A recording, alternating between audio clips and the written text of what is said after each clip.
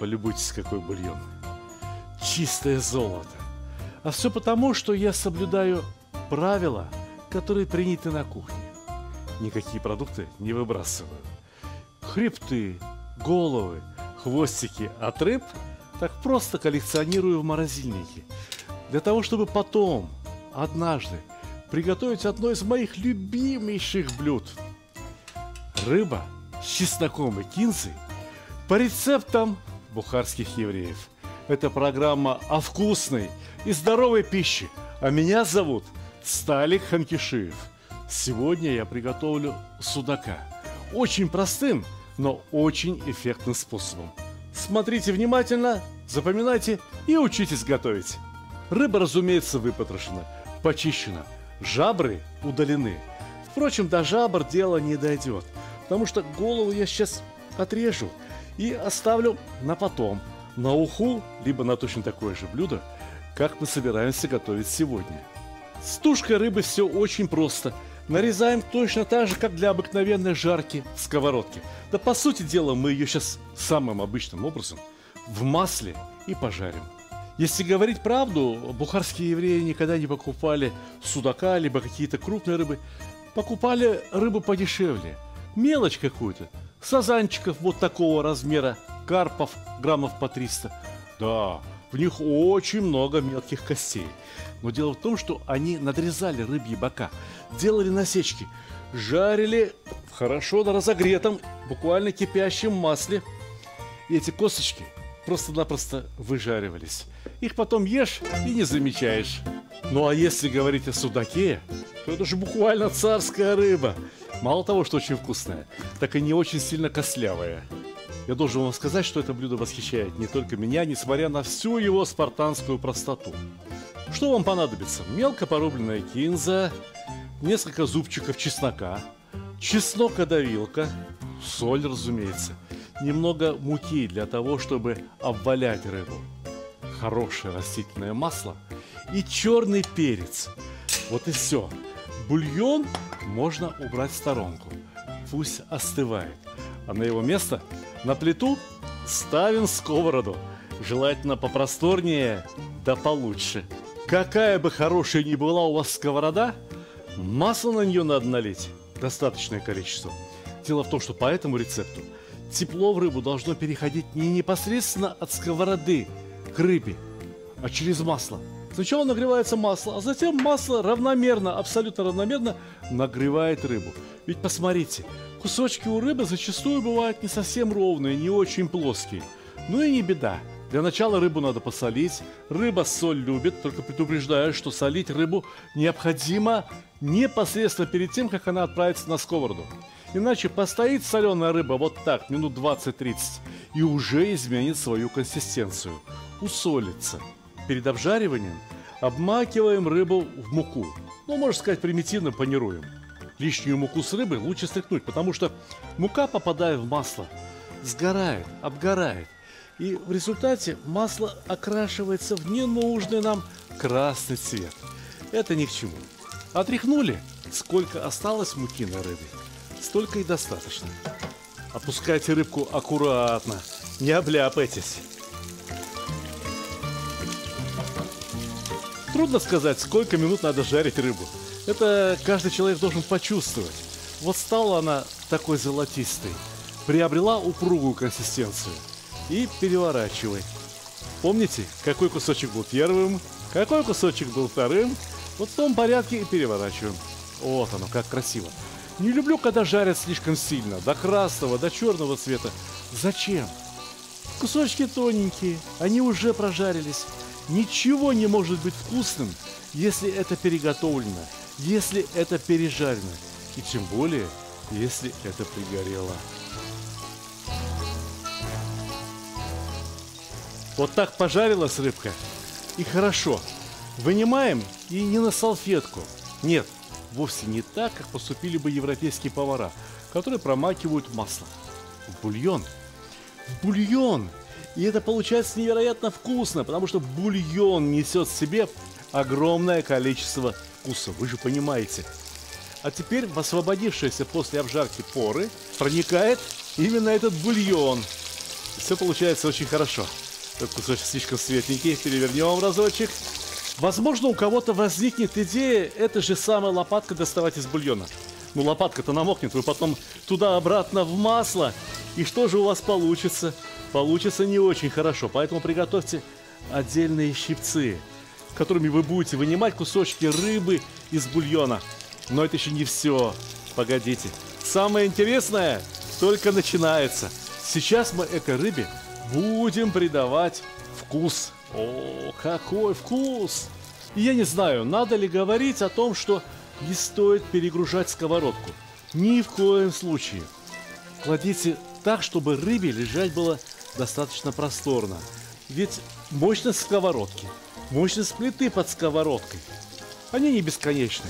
А очень важно, чтобы рыба пожарилась достаточно быстро.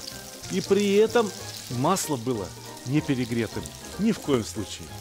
Кусочки рыбы в бульоне должны полежать буквально минутку. Этого достаточно. После этого их выкладываем на то самое блюдо, на котором и будем подавать. Вот теперь на почти что готовой рыбе необходимо создать ансамбль вкуса. Я рыбу солил, но я ее не перчил. Сейчас самое время. Поперчил бы я рыбу до жарки, ну и что? Ну, сгорел бы этот перец в масле. А вот сейчас он сработает наилучшим образом. И вы бы знали, какой потрясающий аккорд создают кинза. Но это еще не все. Жареная в масле рыба и чеснок создают другое, очень вкусное вкусовое сочетание, которое работает всегда, в любом блюде. Запомнили? Где кинза, там черный перец. Там, где рыба, там чеснок. Чеснок выдавливаем немного, по чуть-чуть. Буквально по трети зубчика, может по половине зубчика на каждый кусочек. Этого достаточно. Ничем вкусным на кухне злоупотреблять не стоит. Едоки должны воскликнуть, какая вкусная рыба, а не какой вкусный у тебя чеснок и кинза. Хотя кинзы положили достаточно много, но это связано с тем, что сейчас уже поздняя осень, и кинза не пахнет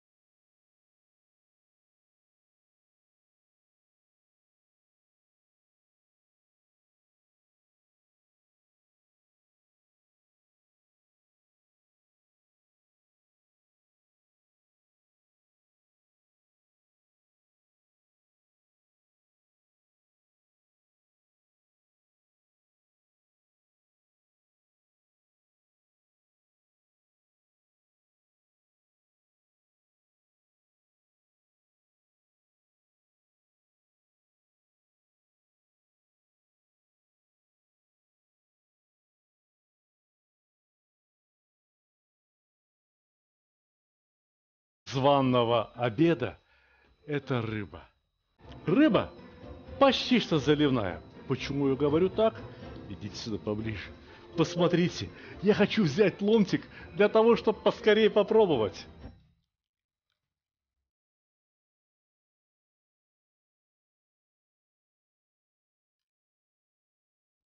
Весь тот самый бульон застыл, ну точно как заливном.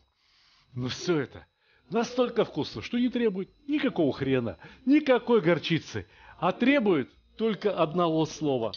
Приятного вам аппетита!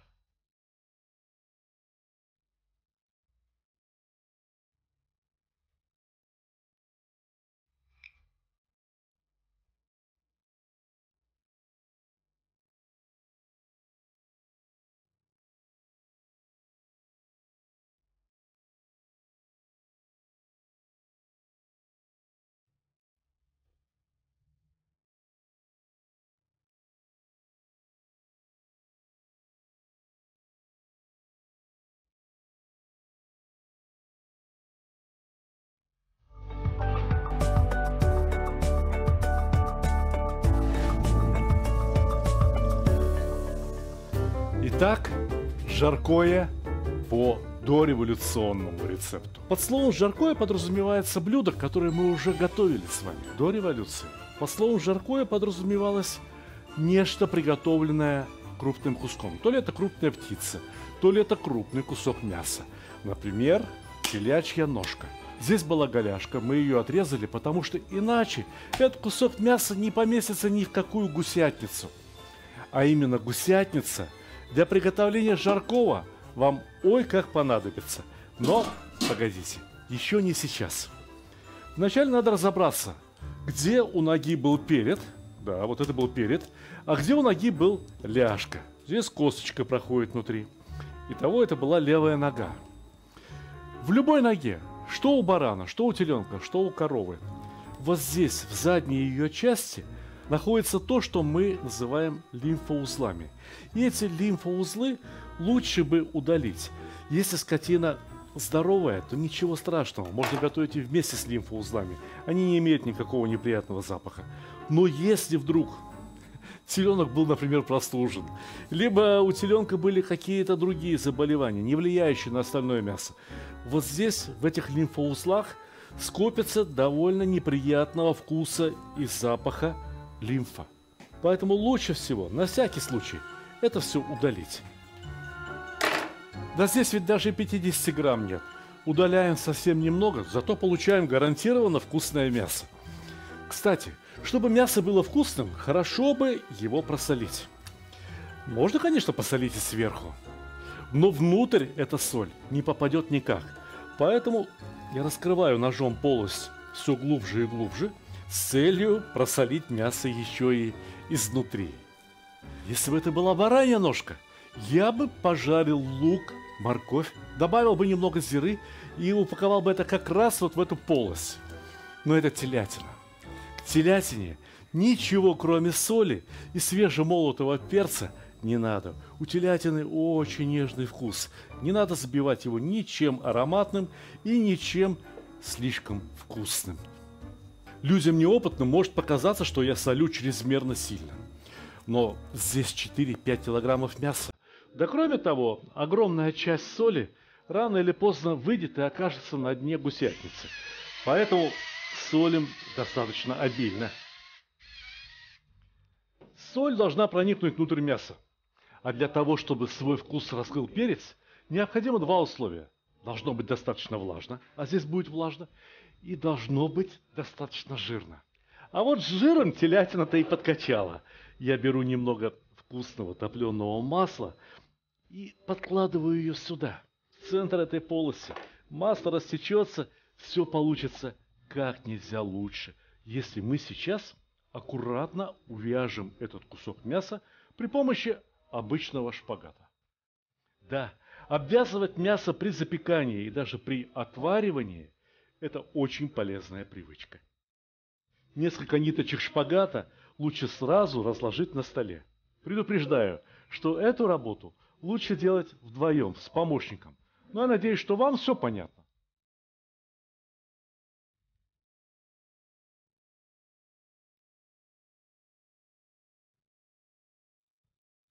лишние куски бечевки лучше обрезать, а за прилегающие к мясу нити беспокоиться не надо. Они не сгорят ни при каких условиях. Во-первых, шпагат загорается при температуре 350-400 градусов. А запекать телячью ногу мы будем при температуре только 220 градусов. Да и то в самом начале. Однако я здорово забегаю вперед. Мясо необходимо посолить и снаружи, а также смазать его маслом. Вообще было бы очень хорошо просолить и проперчить, промариновать, прогреть мясо заранее, как минимум за 2-3 дня. Но даже и так получится неплохо. Самое главное, не забудьте смазать мясо маслом. Многие повара и кулинары предпочитают в таких случаях использовать растительное масло. Но именно топленое масло создает столь характерный и милый привычный русскому желудку вкус, поэтому я использую топленое. На дно латки, либо гусятницы, как мы ее привыкли называть, хорошо бы подлить немного воды. Неплохо было бы придать ему и легкий хвойный аромат. я взял несколько веточек розмарина. Но я думаю, что в этом случае не менее уместное, чем лавровый лист и перец горошком. Лавровый лист и перец горошком тоже на дно латки. В закрытой посудине мясо будет не только жариться, но еще и готовиться на пару. Для, так сказать, первичного парообразования наливаю примерно 300-400 граммов воды. Ну а теперь сверху сеточка. Если нет такой сеточки, ничего страшного. Можно нарезать морковку брусочками.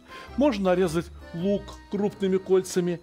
Одним словом, что-то, что будет удерживать мясо на почтительном расстоянии от дна и боков гусятницы. Все то мясо, что будет прикасаться к раскаленным стенкам либо к дну, рано или поздно потемнеет. Я не хочу этого.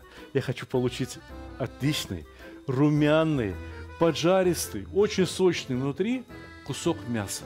Для этого очень важно правильно рассчитать время запекания. 45 минут на каждый килограмм веса при температуре 220 градусов. Из мяса будет вытекать сок. Масло растает, рано или поздно вытопится хоть сколько-то жира.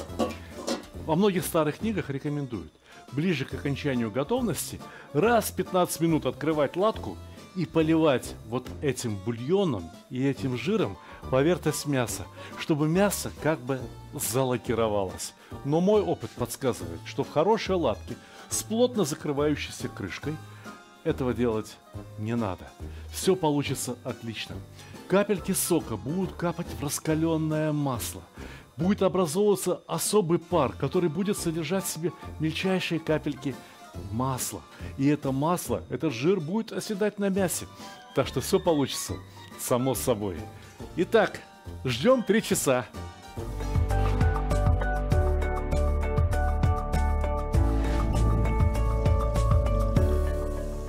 Все готово. Запахи в доме стоят. Очень праздничные, очень аппетитные. Полюбуйтесь. В качестве гарнира запеченная картошка. Ибо это и без того очень хорошо.